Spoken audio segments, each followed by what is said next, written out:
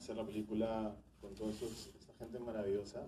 Eh, la, conferencia de prensa acaba de comenzar, Roma y, y fueron solo 15 días donde todos nos comprometemos a chambear como locos para, para, para sacar este proyecto adelante. ¿no? Eh, todos han puesto su, su, corazón, su energía, su tiempo en esto, ¿no? Y, estoy muy agradecido con, con todos, todos ustedes. Eh, no sabía que tenía que decir algo. Creo que Mayela nos puede contar un poquito sobre eso. pero, pero previo a, lo de Mayela, en realidad sí, fueron, fueron varios días de, de, esa, de, grabar ese, esa carrera, ¿no? En, en, en, un día estábamos todos haciendo la meta y eso, ¿no? Y habían, habían dobles de acción, claro que sí, eh, eh, para todas las cosas, porque nosotros filmábamos las escenas eh, mientras había un equipo filmando mototaxis por cuatro días, ¿no? detalles, pasadas, ¿no? Y al final, Pietro y Mayela, los dos, los dos han manejado mototaxi, y Mayela, Mayela casi chocaba una.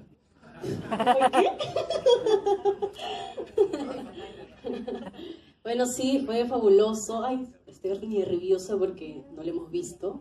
Espero que les haya encantado. Lo hemos hecho con mucha pasión, pero sí, o sea, una de las cosas que a mí me motivó a estar en la película fue eso, ¿no? El aprender a manejar mototaxi. Y, y, que sea una competencia con Pietro, dije, wow, ese chico es avesado, así que yo me tengo que preparar. y bueno, tuvimos este, a, profesores que también nos, nos, entrenamos aquí con la Cecilia, tuvimos el de Bayash, eran nuestros unos profes que nos pusieron a practicar y a practicar y después en, el momento ya del rodaje ya era otra cosa, porque nosotros en piso liso, ¿no? Pero allá encanta, con piedritas, los montes y todo, y, y esta es otra cosa y además habíamos practicado con mototaxis nuevas. Y ahí eran mototaxis usadas de allá de Canta, ¿no? Eso, o sea, tienen otras mañas, este, de repente tiene, se traba alguna cosa y tienes que destrabarlo y un montón de anécdotas, ¿no? Pero para mí ha sido alucinante, maravilloso, siempre al lado de, de las personas que, que, manejan moto ahí ayudándonos, cuidándonos, a veces me iba así ¡ah! de largo y ahí trataban de agarrar lo primero que agarraban ¿no? en las tomas. Ha habido momentos que yo decía, no se pongan en mi camino que yo me lanzo, no se pongan. Y a veces había tomas que estaban ahí, ¿no? Juntos, o sea, actores que tenían que hacer, ya sal, como en Milra. Yo le digo, en Milra haces eso y te vas porque yo voy a salir embalada, porque la cosa era que yo tenía que salir a toda velocidad y casi lo, casi me lo llevo. Pero, sí, al final todo ha sido muy profesional, con mucho entusiasmo y estoy muy feliz de que ya se estrene. Muchas gracias, gracias. gracias. ¿Alguien más que quiera preguntar, chicos? ¿Sí? ¿Preguntas generales? Allá al fondo. Ahí hay uno. Hola, hola. Hola, hola.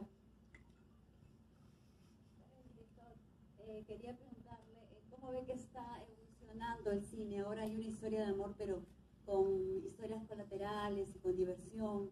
¿Qué se espera del, nuevo cine peruano? Eh, me parece que el año pasado se estrenaron 24 películas peruanas, más o menos. ¿Más?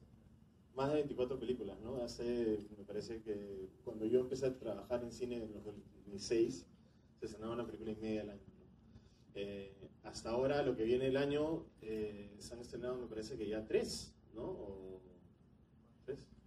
Cuatro. Cuatro. Acá Turco me está ayudando con, información. Eh, pero, mira, estamos, estamos no, hemos terminado febrero, ¿no? hay de todo, ¿no? Y, es como tiene que ser el cine, ¿no? O sea, no, de todo, ¿no? Películas comerciales, películas de, de arte, películas personales, todo el cine tiene que hacerse, ¿no? Entonces, el hecho de que se haga películas, se haga películas, se haga películas es, es, es, es, lo que va a hacer que el cine peruano siga creciendo. ¿no? Eh, en ese caso nosotros hemos querido hacer una película eh, que es al mismo tiempo para nosotros como para el público. ¿no? Eh, y, eso creo que, para mí es lo, como tienes ese cine, muy personal.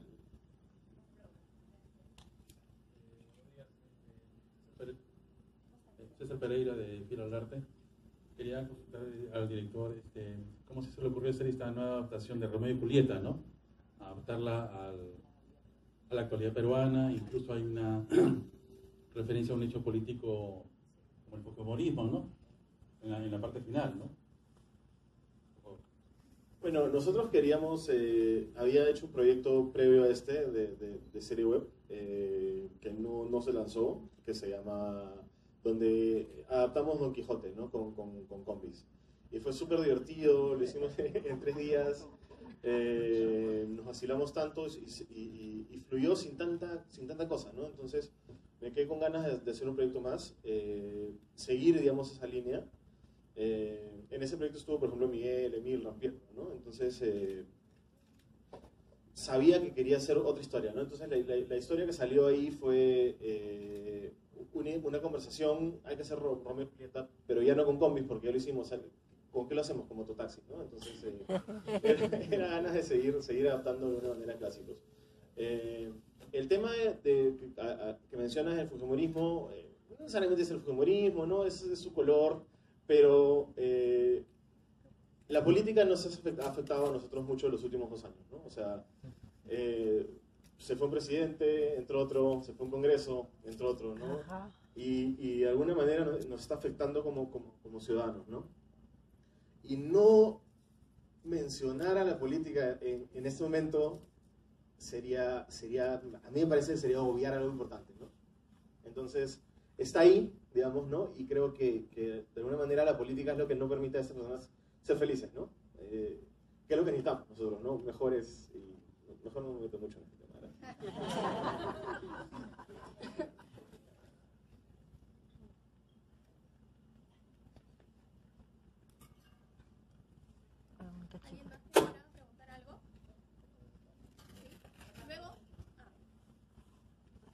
Hola, hola. No se preocupen que igual luego vamos a salir para los juegos. Sí, claro que sí, sino que ahorita es la parte un poco general. Ajá. Y ahí salimos para los fotitos y los personajes. ¿Qué tal? Buenos días. Eh, de parte de Agenda.p. Quería preguntarle a Mónica qué tal, hola. Muy bonito trabajo en la película. Este, quería que nos comentaras un poquito cómo ha sido el trabajo, la experiencia de grabar en otro lugar, el tema de la altura y tal vez todo esto, ¿no? Ah, bueno, gracias, buenos días con todos, con todas. Ha sido una experiencia entrañable para mí. Estoy muy feliz, muy agradecida de haber sido convocada por Daniel. Y es entrañable por varios aspectos. Primero, yo que vengo del teatro y que vengo de hacer clásicos, volver a un Shakespeare desde un lugar tan eh, criollo, este, tan eh, colorido y tan sabroso como es el Perú, y probar la vigencia de un clásico. Es decir, eh, vivimos en una comunidad que todavía se separa, que todavía se confronta por nada y se pelea con el aire, ¿no? Estamos como descreídos del amor y, coincido con, que, con lo que dice Daniel, cómo la política traspasa nuestras vidas cotidianas, no está afuera, está en el día a día de nuestros días y nos hace dudar incluso del amor y de la confianza en el otro, ¿no? Y la película y Shakespeare toca todo eso que es universal y lo que hace Rómulo y Julita es aterrizarlo aquí ahora y probarnos un poco que estamos en lo mismo los humanos, ¿no? Y cuánto más fácil sería la vida si saltáramos un poco esos baches y nos miráramos de manera un poco más amical en general, ¿no? En la chamba, en el amor, en la vecindad. Desde ahí ya me parece increíble ser parte de, de ese relato. Por otro lado, reencontrarme con Miguel, que después de mucho tiempo siempre hemos querido volver a trabajar juntos este es un actor al que yo respeto, quiero y admiro. También era un placer volver a encontrarme con Ana Cecilia, trabajar con un elenco de verdad joven, de polendas. Este, a todos ellos yo los respeto y lo admiro y para mí es un privilegio. Y por otro lado, hablar de un Rómulo y Julita siendo un par de tíos también me parecía de lo más original, ¿no? Que el amor no esté destinado exclusivamente a una etapa de la vida, sino en cualquier momento de la vida puede irrumpir y puede remover todo, ¿no?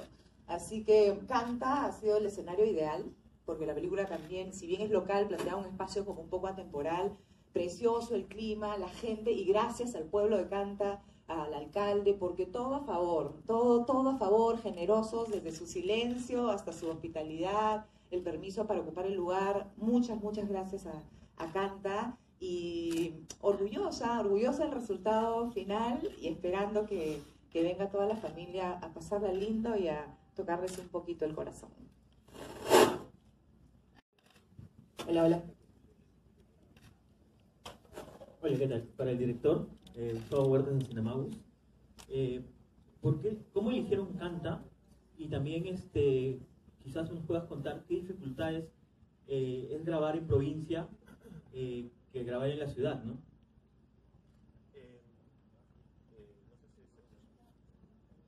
Hola, hola. ¿Qué pasó esto?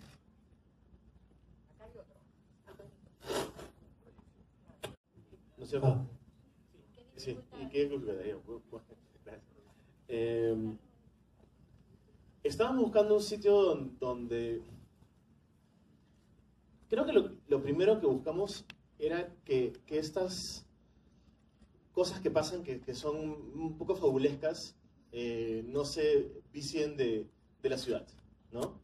Entonces queríamos que ese universo se sienta que, que, que- que vive bajo su propia lógica, ¿no? Entonces estábamos, nos fuimos a, a varios sitios, estuvimos por, nos hemos ido hasta Barranca, nos hemos ido a Cayahuanca, hemos estado por el sur, buscando sitios, y Canta terminó siendo este espacio hermoso y mágico que donde pongas la cámara tenías estos fondos increíbles, ¿no? Entonces, la idea de la fábula se completa en Canta. Eh, creo que sobre las dificultades y, ¿no? versus las, las cosas buenas que tiene trabajar en, afuera. Uno es que eh, es- tienes más, más paz también para trabajar eh, cuando, cuando viajas, ¿no? O sea, no tienes tanto, tanto tráfico, tantas eh, distracciones porque te, te tienes que mudar, ¿no? Prácticamente el rodaje allá, entonces se vuelve un círculo muy eh, íntimo donde todos estamos pensando y trabajando haciendo lo mismo y de alguna manera tu, tu vida personal se queda, se queda en Lima, ¿no?